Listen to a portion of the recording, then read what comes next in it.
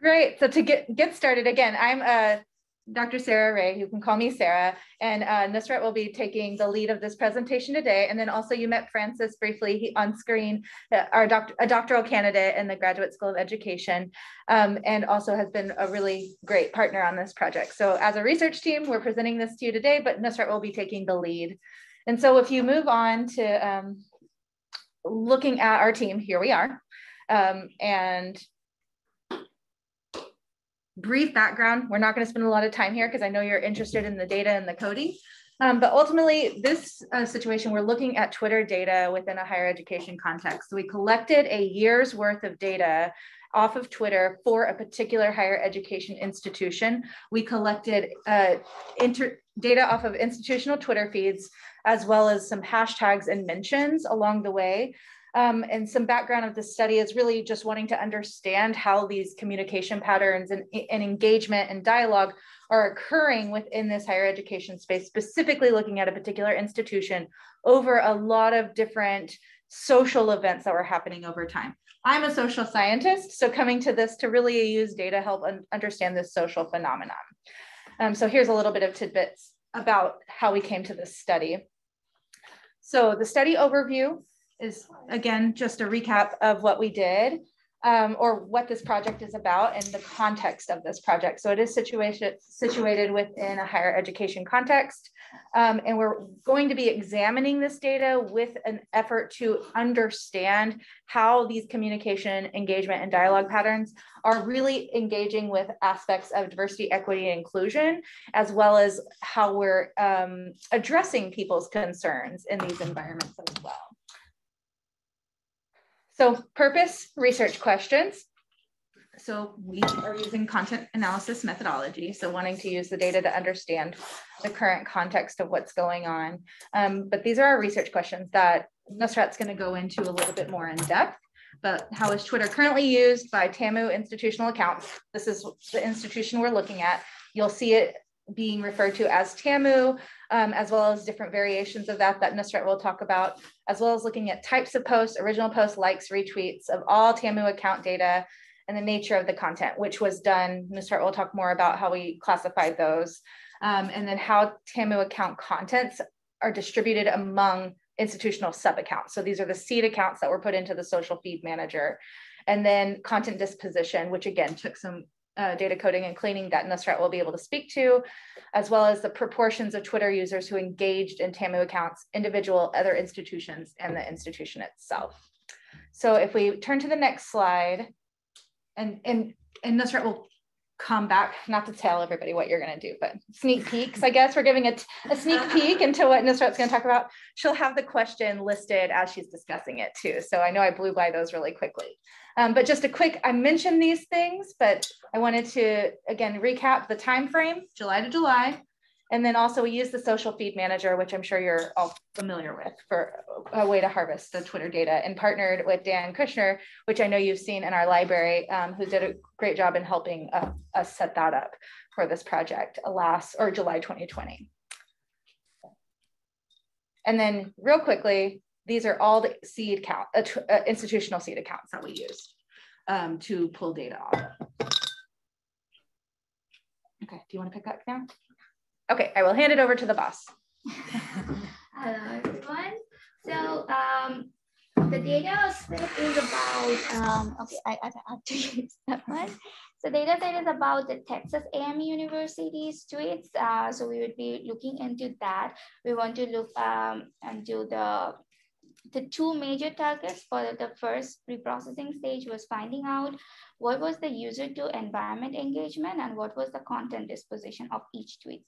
Uh, for that, we have to, at first, my task was to find uh, the pre-process the data to find out these two columns that we want to fill out uh, by observe, observing each tweets.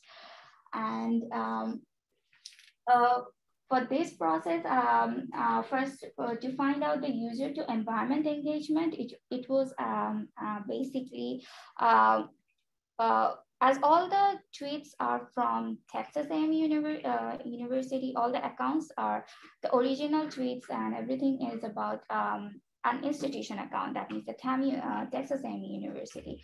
And we want to know uh, how the engagement was. That means uh, if it's a reply, who, uh, if it's a retweet, who retweeted that uh, tweet.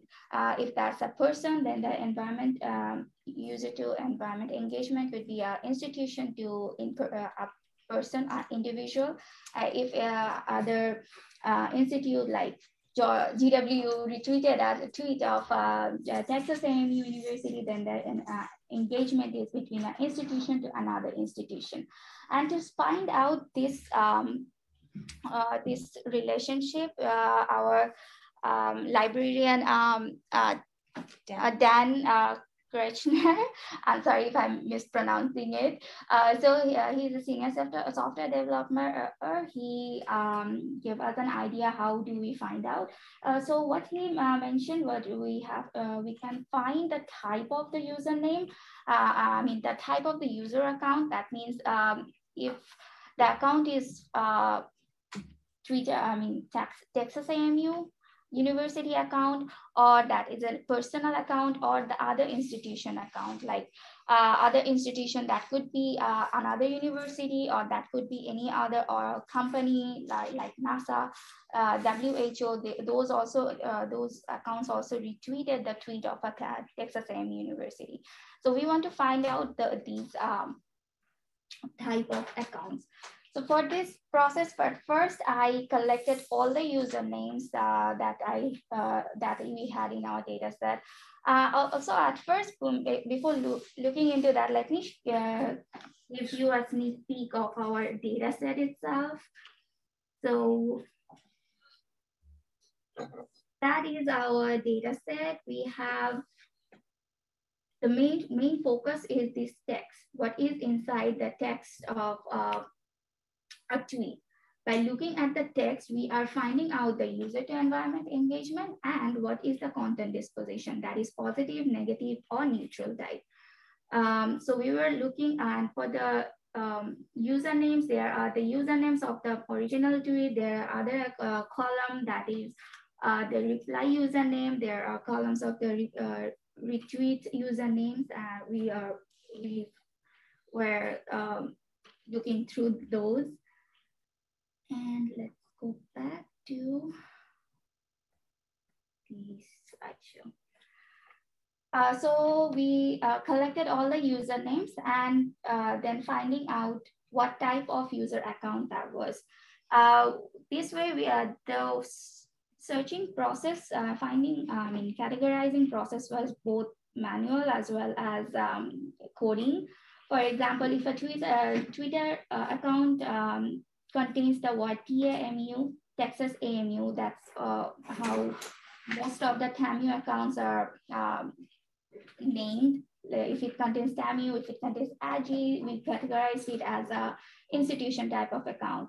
Uh, for the personal account, we uh, uh we uh, observed if a account uh, username contains underscore or numeric values. More because it's very, very rare to find uh, institution or other institution uh, account with underscores uh, because special characters. These are all mostly uh, personal account uh, usernames uh, are like that.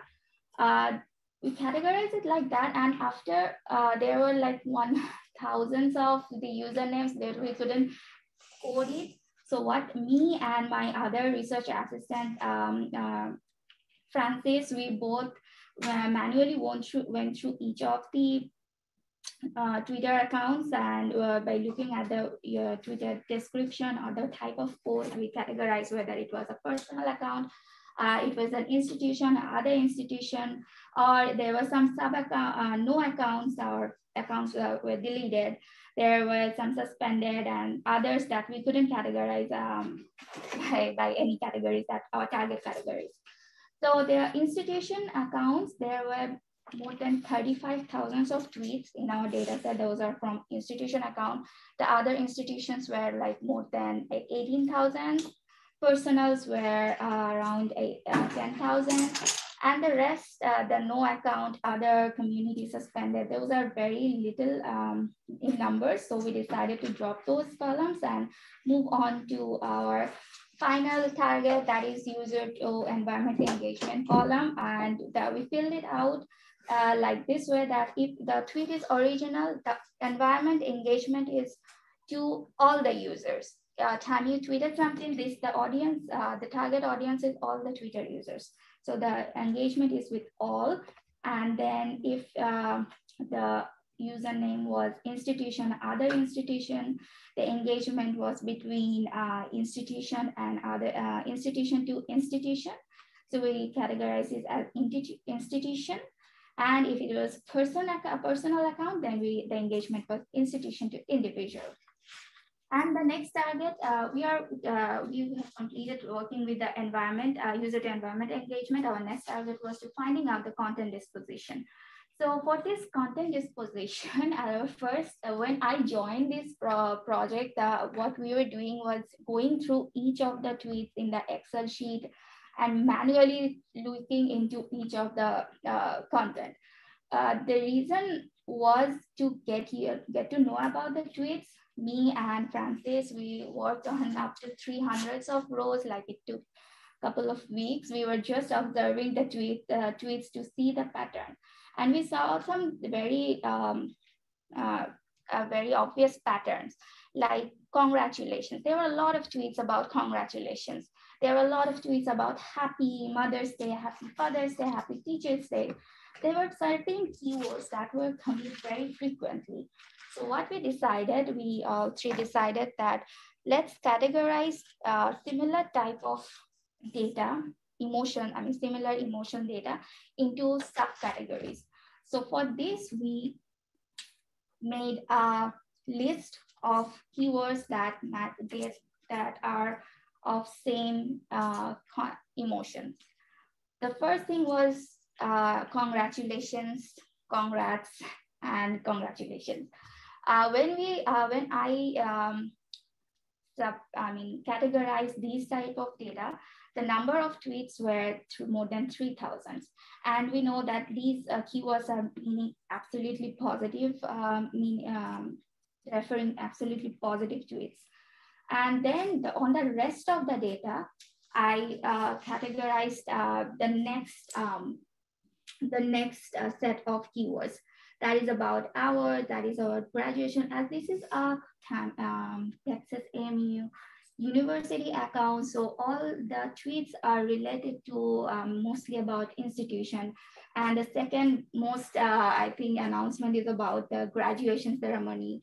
And those are uh, like a celebration. Those are about, those are all positive um, content. Uh, so we made it positive. There were more than 4,000 of rows. Those were contain, those tweets contain these keywords. As our data set was uh, during um, 2020, like after uh, COVID, um, yes, after COVID started, yeah, so, so July 2020 to July 2021. It was uh, after COVID-19 was detected. So we had uh, some uh, more than 2,000 of tweets that contained the um, announcement of COVID-19, announcement of getting vaccinated. As these are all like a um, announcement, these are neutral type of tweets. So we made the content disposition to be um, neutral. Uh, the next, uh, I'm not going through each of them, but the process of finding each this category was uh, after I, the this was on a sequential way, like I uh, sub, um, took all the congratulations data and stored that into a Excel sheet. And on the rest of the uh, data, I uh, for the second keywords, um, set of keywords, and then say, store that into another Excel sheet and so on. Uh, so why these are neutral? The question is, uh, these are announcement of a game. So these are a tweet, those doesn't contain uh, absolute positive words. So we can say that these are actually um, an announcement like um, game. Uh, here we have a great, uh, uh, we have keywords like win. So these are the game, game type of tweets. Uh, the, the, at this stage, these tweets doesn't contain absolute positive words. So we can say that these were an announcement that tonight we have a uh, basketball tournament, uh, basketball, uh, baseball tournament, or there's event type like tonight we have an event, uh, join us uh, on Zoom or in person. Uh, so these were just an announcement, so we made it a neutral. These are the, the other set of um, keywords. Here I'd like to mention this neutral, the, this crime data set there were uh, more than 2,000 of rows, which uh, was a tweet about uh, incident, uh, crime incident happened in the TAMU area, uh, Texas AMU area. Those were tweeted or retweeted by the uh, by uh, TAMU account. So how we categorize it, if it's an original tweet, we made it a neutral. That's like an announcement. If it's a uh, user is retweeting it or user is replying to it, quote, quoting it, that means we want to say it's a negative um, reaction because no one is accepting a crime. It's definitely they are not liking it, they're disliking that what is happening in the area. That's why we, we categorize it as a negative if the tweet is a reply type of or retweet type of tweets. There were 7,000 of tweets that um, that we couldn't categorize, but we decided to skip and move on to our uh, some uh, statistics and visualizing what is um, the content of the TAMU tweets. Uh, the well, uh, the question that should come in uh, everyone's mind is how uh, how these keywords were collected. Is it like a random guess or just looking uh, the or the, the on the tweet? It wasn't exactly like um, guessing or assuming. What I was doing on the each step of uh, selecting one keywords, for example, when I was selecting this first one, the congrats, congratulations. Uh, after this stage on the rest of the data, I visualized a word cloud. And here by looking at the, the bigger text means this one it have more um, occurrence. These uh, keywords have more occurrence. And looking at the keywords, I uh, I selected at what, is it positive, is it negative, how do I categorize? So each time I uh, select one keyword there and then I used to run the word cloud again, visualize the word cloud again and again and do the categorization. For example, uh, like uh, while looking at the help and support, these, these two were, um, uh, these two words popped out, uh, popped up in our word cloud very later on hours uh, of the stage. But when I saw that the help and support, these, these are very, these two, uh, these two keywords are very frequent in our data set. And, I, and these are positive type of tweets. So I added it uh, here and run all the, um, uh, run my program from the beginning to, just to uh, extract and uh, all the data, similar type of data into this Excel sheet. And this was our data set. After I categorize all the contents, um, no, content disposition of the tweets. So here we have uh, each Excel sheet with um, uh, data like this. Uh, this is an Excel sheet where all the tweets are uh, contains the Gig 'em and Gig 'em is a thumbs up, which is absolutely positive type of tweets. Here is the congrats data set. Like we can see one of these um, tweet like congratulations, Dr. Capes. And so all the tweets are on the similar category. Back to here.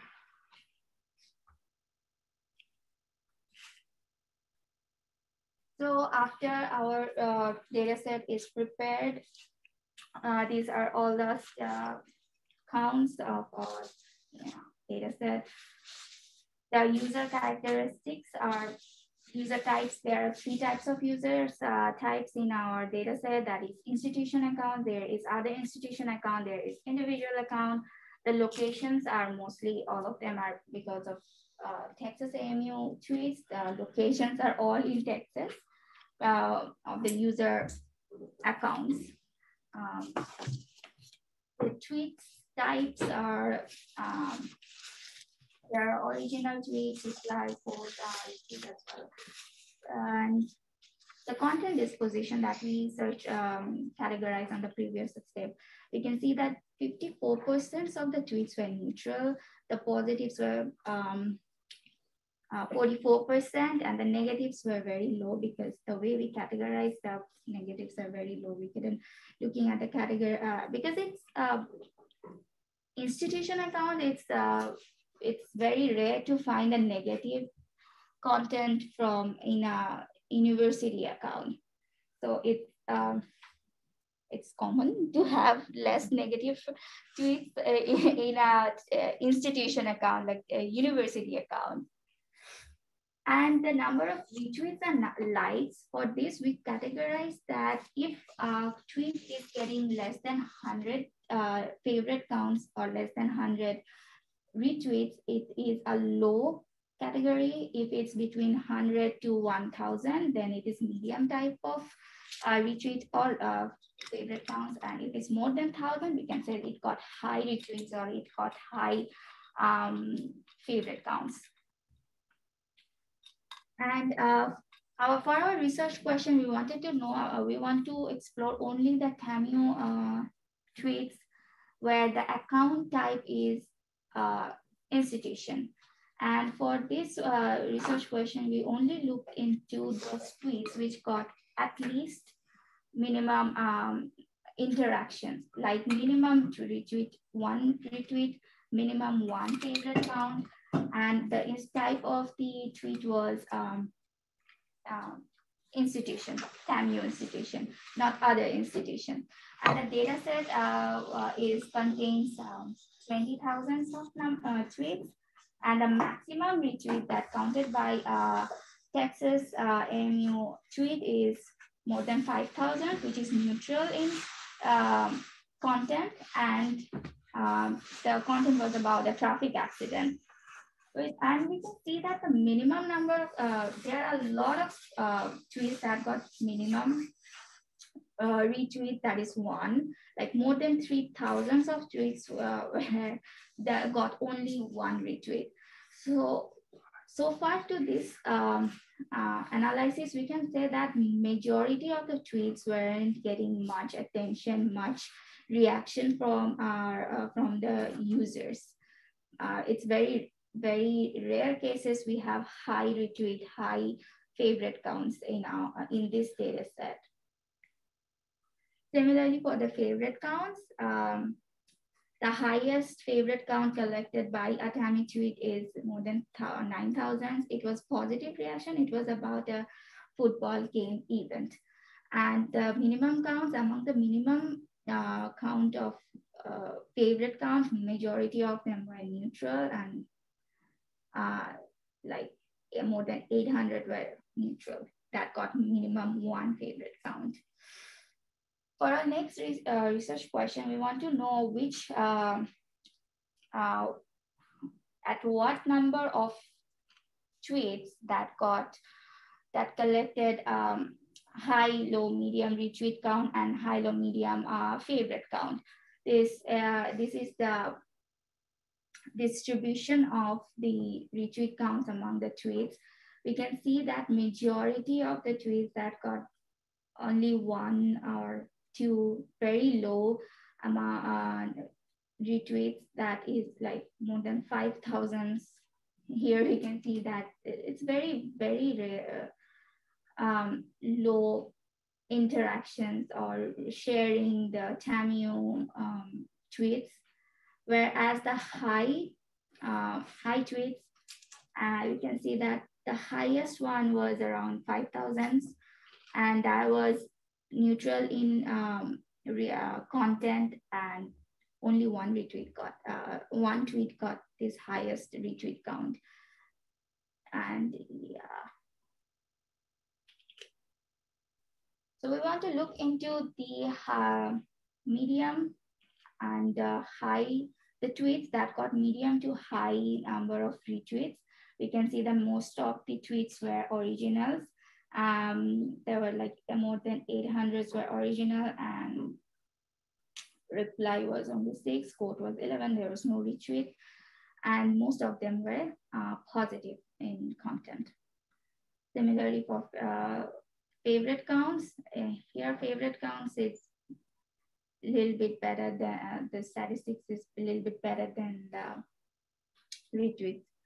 Uh, here we can see that the, on the if you look into the medium and high, we can see most of the tweets were positives and that got favorite count uh, because favorite is an absolute positive uh, tie uh, content. So people would press on the favorite count when they like uh, content of uh, a tweet. And majority of those tweets, uh, the high to medium to high number of um, retweet, uh, favorite count collected by a TAMU account, they were original and those were positive. And this is the, uh, all the, uh, the, for this next research question, um, we want to know what is the content disposition of the um, type of tweets um, that is uh, original retweet or reply uh, uh, quote like that. Um, so uh, among all the uh, among all the institutional tweets, 35% um, were original retweets and those were neutral, and the 29% were positive, and these are all the uh, percentage of tweets. Uh, but we can see that there's there are some negatives, but as the negatives are very low in numbers, we want to know uh, what uh, what's happening inside the negatives one. So we find out that most of the negative tweets were retweets and the proportion of users uh, who interacted TAMU um, uh, most of the users were institution. That means those are other accounts of um, Texas A&M University.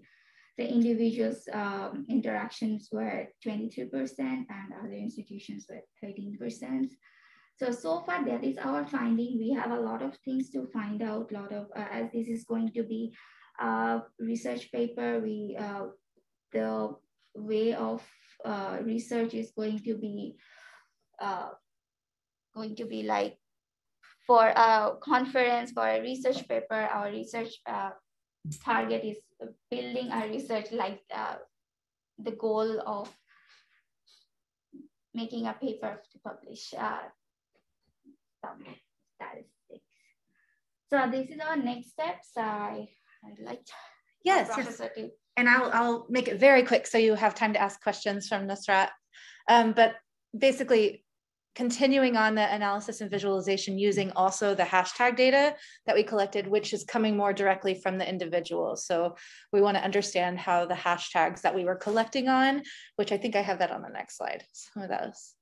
Yeah, so these are the hashtags we collected on as well, um, which has a, we had one seed that was tracking nine different hashtags. And so this is the next thing that we'll be discussing and and that uh, will be using her skills to examine some of the hashtag data and then the mentions as well um, to kind of understand the beyond the institutional context. We see a lot of like echo chamber ideas, like putting it out as like an announcement platform that most people are really seemingly happy about um, but but also knowing that these larger social context issues are occurring within the context of a an institution during the time frame of 2020 to 2021 um, that was also experiencing a, a variety of different uh, social uh, issues at the time. So we're going to do some analysis and connection around those uh, social concepts too.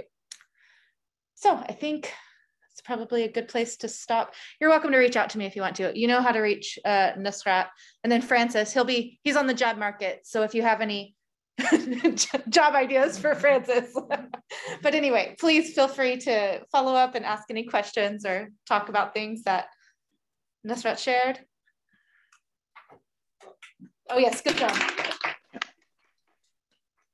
Yeah, thank you very much. Um, I do have a question. If you could go back one. Um, mm -hmm. So this is where you're then as because part of your research question at the beginning was how do institutions handle DA, DEI issues in their communications? Yes. So is that what you're trying to get to then through these 8,700 tweets is how did that handle? I, I guess can you talk a little bit about that? Yes, for sure. And I think that's a, a, really good question. So when we think about the year that the data was collected on, and those communication patterns there were so many things that were bubbling up socially in different aspects of the media and then twitter the institution which is has a very robust communication platform and uses it quite i would say effectively to to send out communication, but not necessarily for dialogue and engagement around these more difficult, complex issues. We really wanted to understand how the institution was engaging, period, which I think was our first part of the research question, and then to further understand how they're addressing some of these larger social issues.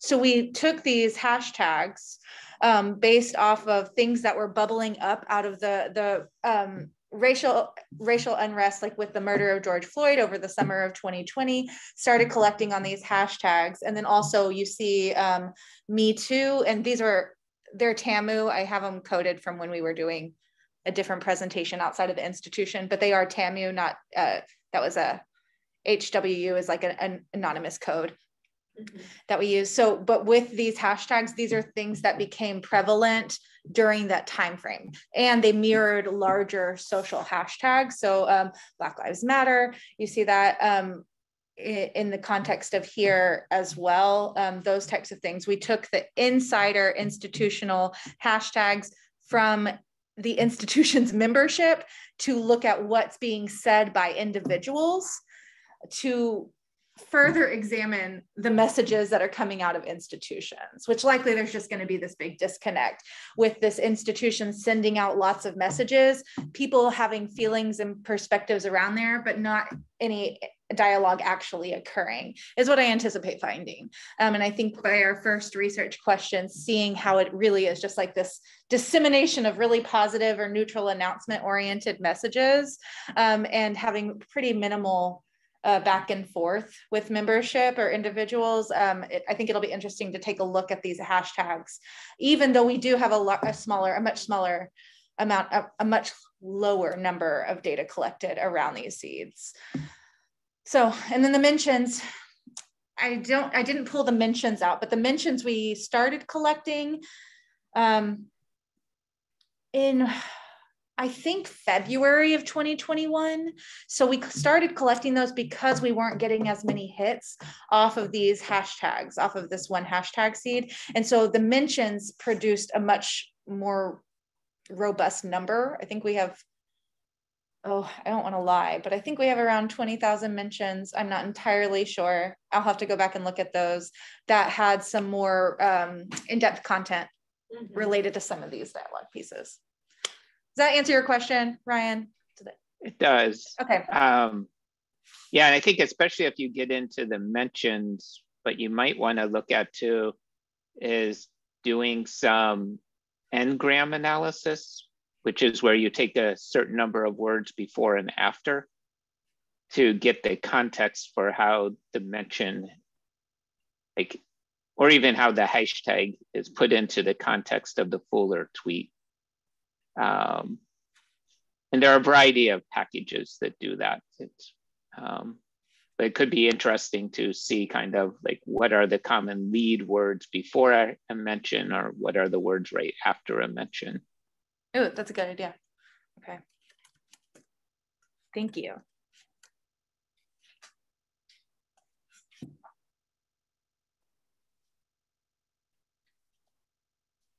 Anyone have any other questions? I have another question, I guess. So um, I guess this gets, I, did you do like most of this in Excel or did you use something else and then re-put it back into Excel?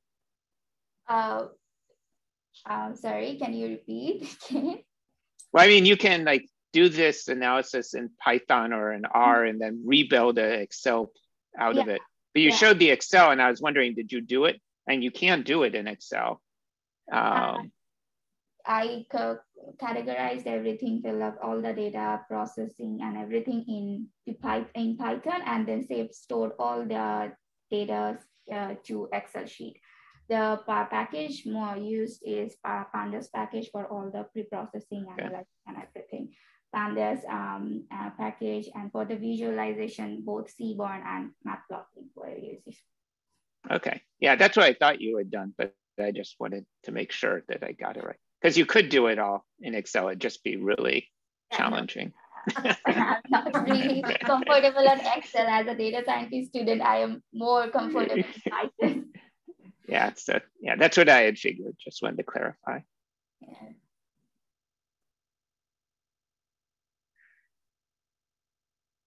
Okay. Any other questions, anyone? If not, um, I was gonna maybe make a suggestion that, like, not to open up a whole nother enormous amount of work, which it would be, um, but to look at other sources like maybe LinkedIn and things if you're looking for other types of engagement. I mean, I'm only thinking that because like within our own department, we're thinking about how do we communicate to the outside world as a department, like with official communications. And our our LinkedIn account is way more active than our Twitter. Our Twitter is very, very low. Um, and, and especially in terms of getting alumni, like responses from alumni. If we contact them through LinkedIn, we get huge hits. If we contact them through Twitter or mention people, there's just like nothing. It's like silence. So there's there's just some networks, and I don't even know why. That might just be us. Mm-hmm. Other places might be more Twitter heavy, but there's some networks that seem to go better through, or they grow faster on one platform than another, and so you might get just a wholly different type of engagement going on over there. Um, but it's just an idea to maybe take a look at and see I mean, you could visually just look at it and go, you know, does this look kind of similar or is there a lot going on? Are we missing things here that are happening that we're just on the different platform? I think that's a really interesting and valuable point because I think like early days of Twitter when Twitter was really hot and sexy, that that's where everybody, even institutions, higher education institutions were kind of just throwing noodles at the wall to see what sticks. And Twitter became integrated into these communication platforms and plans, but also without a lot of expertise or knowledge necessarily of its members. Like the people who were responsible for them were sometimes like a graduate student who has been named the social media manager who starts a Twitter account in a department and uh, now is like the Twitter platform that either is utilized or not utilized based on who's in the seat and who understands Twitter. So it, it's it's really uneven in some ways too. Um, so yeah, I think that's a it's an interesting idea and like who who's using it more and why and what they're saying. Because i think too what we found is that it is highly used to, to publicize sporting events at an institution that's super into football. So um, you get a lot of that and that's really popular and people are excited about football culture at this institution um, which highly skews the messages too right? Um, but also on um, like some of the news sites we see people excited about football, but at the same time, one of the head coaches, who was a, a black man, was um, sent a lot of different um, messages to his personal Twitter account that were very racist. Um, and that's not reflected in this Twitter data set, but was something that was experienced by a person of color that's a member of the institution that's also part of this football identity. So we have these like tension points that are not captured in this data set. So I think that really kind of speaks to that a little bit, John. So thank you for pulling that up.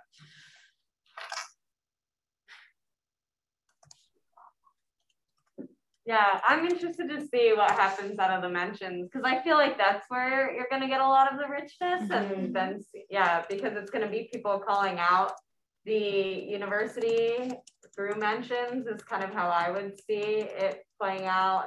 Uh, I don't know that I, I'm going to disagree with JP. I don't feel like people are going to be calling people out over LinkedIn.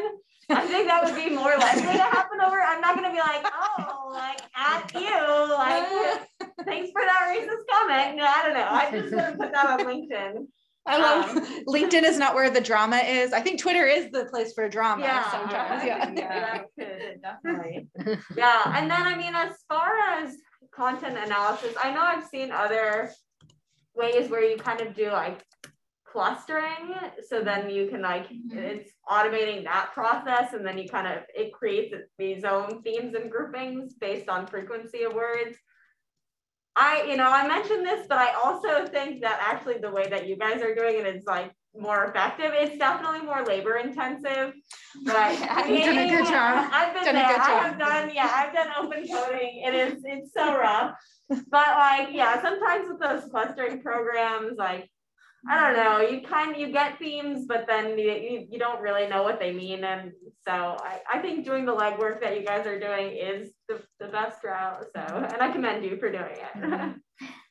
Yeah, and that legwork too. I think like where where so Francis, who's on the call, and I kind of started with that manual process. Mhm. That then when Nusrat joined, she was able to join and then start seeing how to take that and do some of the automation around that. Automation is that the right word?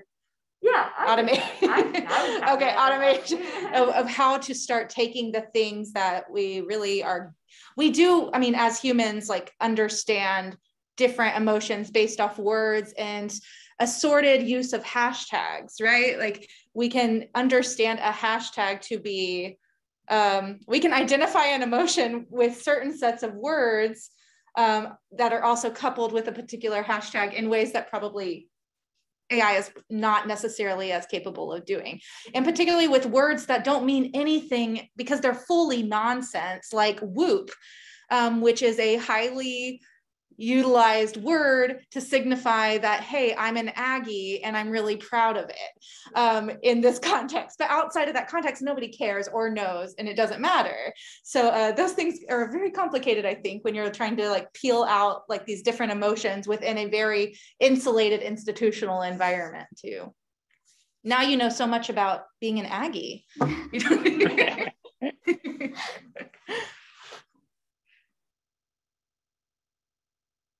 Okay, well, great. Um, I'm gonna go ahead and stop the recording at this point then.